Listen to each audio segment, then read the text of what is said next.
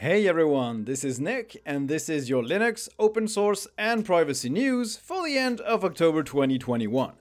Strap yourselves in because it's a long one, including a first version of Photoshop on the web, Linux beating Windows 11 handily on 11th gen Intel CPUs, Brave moving to Brave Search as the default, and KDE Connect for iOS seeing its first usable release. Let's get into it right after I tell you how you can extend the lifetime of CentOS thanks to today's sponsor.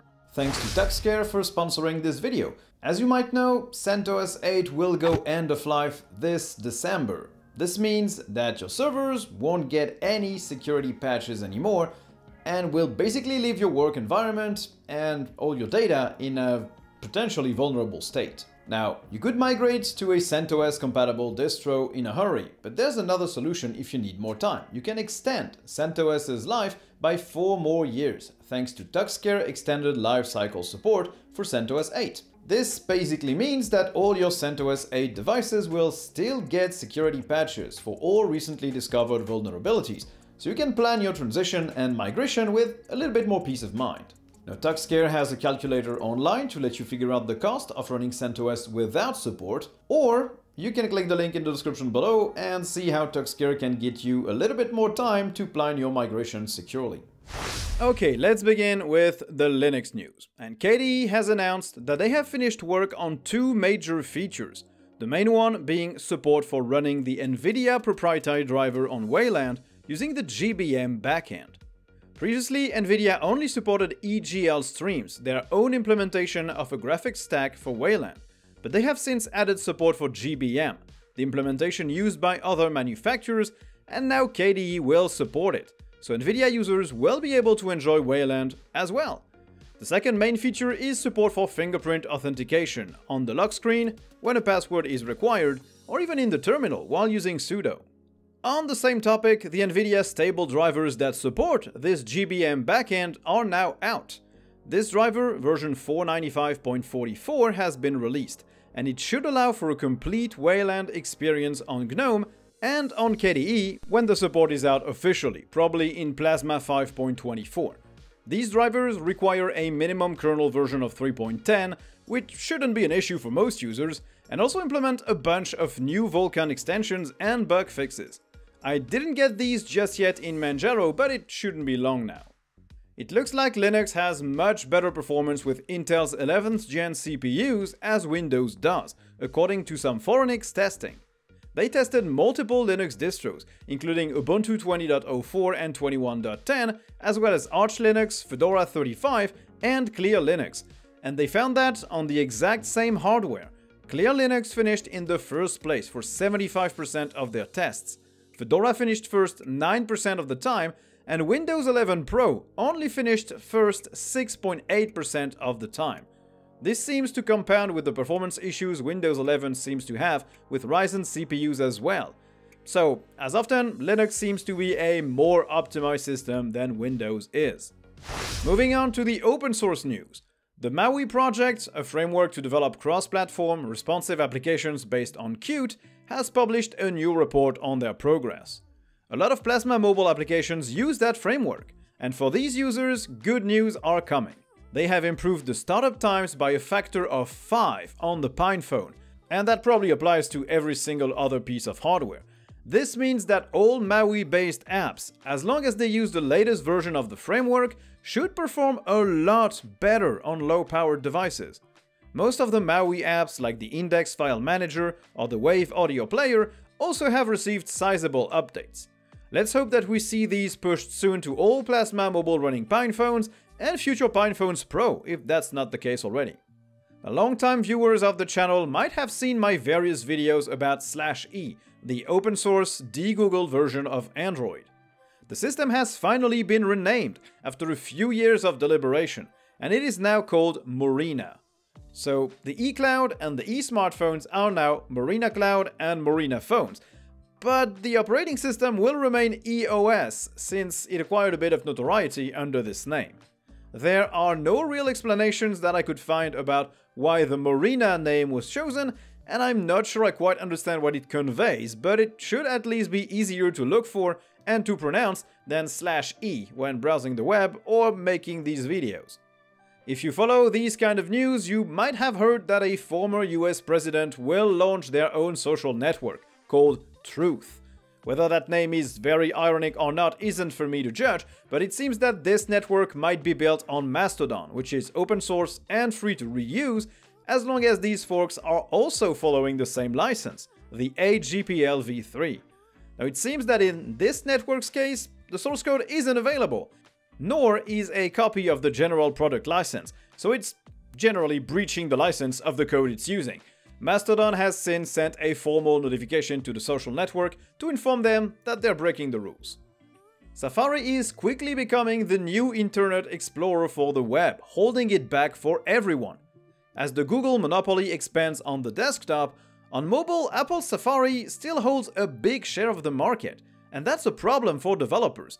Safari gets very few updates, and its WebKit engine is crippled by the lack of support Apple enforces for modern APIs, in all likelihood to protect their App Store business against progressive web apps that could get too close to native applications for comfort. The issue is that developers either have to maintain fixes specifically for Safari, for bugs or behaviors that will never be fixed, or they can abandon Safari support and leave a bunch of users stranded on iOS devices with broken websites. As someone who has worked on websites for the past 10 years, I can confirm this assessment. If Apple keeps holding the web back on mobile, they will quickly lose all relevance for web developers, and iOS users will find themselves slowly pushed out of the mobile web. Now, onto some gaming news. VK-D3D Proton version 2.5 has been released. This library allows to translate DirectX 12 calls into Vulkan calls for Linux, and this new release now improves DirectX ray tracing. With this new release, support for this API is now more or less feature complete, according to the developer. Version 1.1 of DirectX ray tracing is now experimentally available as well, by simply adding a launch option to the game in Steam. This should allow games like Control, Deathloop, World of Warcraft, and Resident Evil Village to have full support for ray tracing. NVIDIA's DLSS should also work on more DirectX 12 games, thanks to an NVIDIA contribution. Lots of bug fixes also went into Diablo 2 Resurrected, Far Cry 6, Deathloop, Hitman 3 or Dirt 5. Steam has announced Deck Verified, a way to know if a game will run on the Steam Deck or not. This system will be visible on the Steam Deck itself, in your library and in the store, so you can identify which games run well and which games don't run. There are currently four levels planned. A verified game will have been tested to be fully compatible with the deck, a playable game will run but might have some issues, an unsupported game won't run at all, and unknown games just haven't been tested just yet. This label doesn't just include compatibility with Proton, but also checks for launchers, compatibility with controllers, or support for the deck's resolution. That's a fantastic idea, and I wish Valve worked on this system for general Linux gaming as well. Now, if you've always wanted to play PS3 games but didn't want to buy a console to do so, the future might look brighter. RPCS3, the PS3 emulator, has announced that all PS3 games are now at least bootable on their emulator. Now, this doesn't mean that all of them will run correctly or at all, but at least they can now focus on making sure that all these games that at least boot up can reach the main menu and be playable after that. They have also improved graphics over the last year, so games that run should also look a lot better than they once did. It's still not a complete solution for all games, but it's getting a lot closer. Wine 6.20 was released. As always, it adds a bunch of new modules converted to the PE executable format like MSXML or Xaudio, and the HID joystick backend is now the only one that is officially supported in direct input, as work has been completed on it. Wine 6.20 also fixes 29 issues, including for Path of Exile, Diablo 2 Resurrected, or Rise of the Tomb Raider. Now, in terms of hardware news, we only have one item. Starlabs, a Linux laptop manufacturer, announced their StarLite Mark IV. It's a small 11-inch laptop which is running with a low-power CPU, the Intel Pentium Silver N5030. While this might not be enough for a lot of use cases, a lot of people also don't need ultra-powerful, power-hungry multi-core CPUs, and just need a device for web browsing and writing a few things down. The chassis is custom designed by Starlabs, it's made of aluminium, and it has a glass trackpad, so it's not just a cheap Chromebook either. It comes with coreboot, it's rated for 8 hours of battery life, it uses fast SSDs, and charges with USB-C.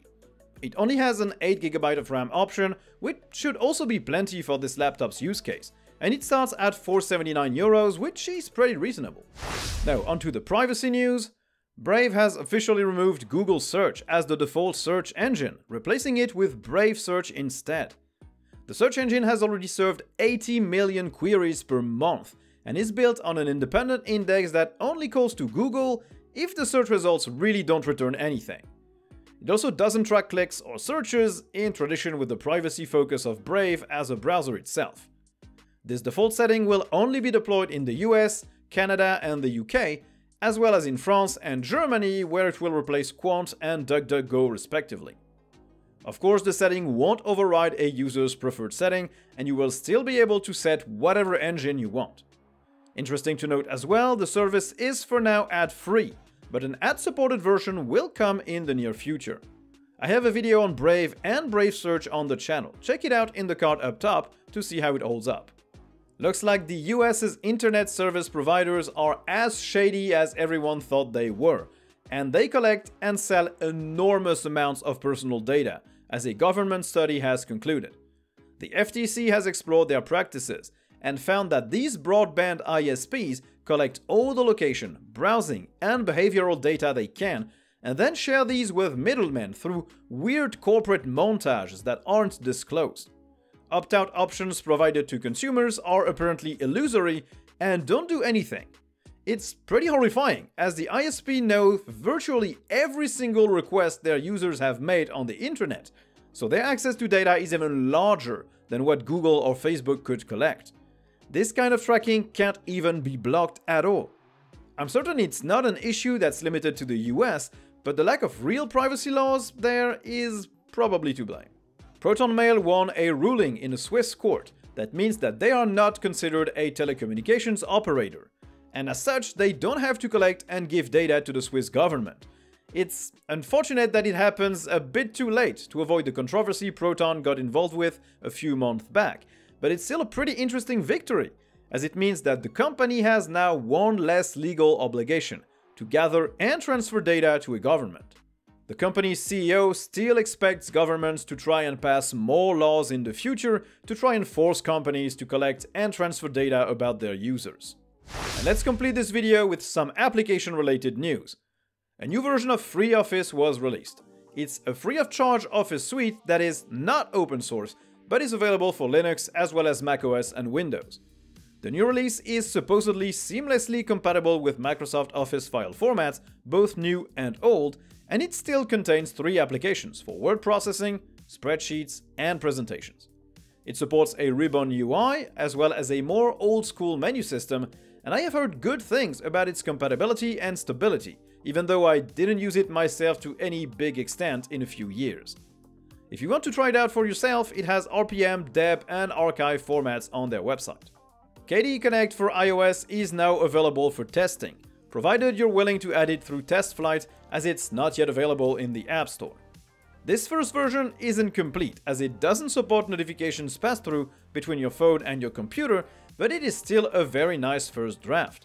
It didn't work for me and for a lot of others on Ubuntu 20.04 based distributions, but on my desktop running Manjaro, I could send pings, transfer files really easily, and use my phone as a touchpad for my computer. It's pretty exciting to see that iOS users will soon be able to enjoy the same level of phone-computer integration that Android users have had for a while. Now the big news, Photoshop has a web version. It's still pretty limited, letting others view and comment on Photoshop or Illustrator files without the need for a Creative Cloud subscription. Subscribers to Adobe Suite will be able to make light edits to their files directly on the browser. It is still not a fully fledged replacement for the complete programs, but it is a first step that might end up with the complete suite in a browser, making it accessible to virtually any operating system, including Linux. This could be, in the future, a major asset for us, as the Adobe Suite is often cited as one of the main problems making it hard for people to move over from Windows or macOS. And finally, Microsoft Edge is now officially available for Linux in stable form. The Chromium-based browser from Microsoft was already working on Linux, but as a beta. Microsoft's repositories only seem to include deb and RPM packages for now, but I have no doubt that other distros will package their own versions quickly. Edge isn't a browser I have used before, but I have heard good things, and it seems to benchmark somewhat higher than other Chromium-based browsers. So maybe it will be a suitable candidate for my quest to find an alternative to Firefox on Linux. Stay tuned for the results of that hunt later this month on the channel. And this concludes it for this video, guys. It was made possible by Slimbook. If you don't know about them yet, they're a Linux manufacturer based in Valencia, Spain. They make Linux desktops, laptops, they ship worldwide, they have all keyboard layouts. I basically only use their desktop and laptop these days, so if you want a new Linux-based device, check out the link in the description below. So thank you guys for watching the video, I hope you enjoyed. If you did, don't hesitate to like and subscribe, and if you didn't, you can also dislike and tell me why in the comments. You can also join my Patreon subscribers and YouTube members, and you'll get access to a weekly Patreon cast and the right to vote on the next topics I'll cover. So thank you guys for watching, and I'll see you in the next one. Bye!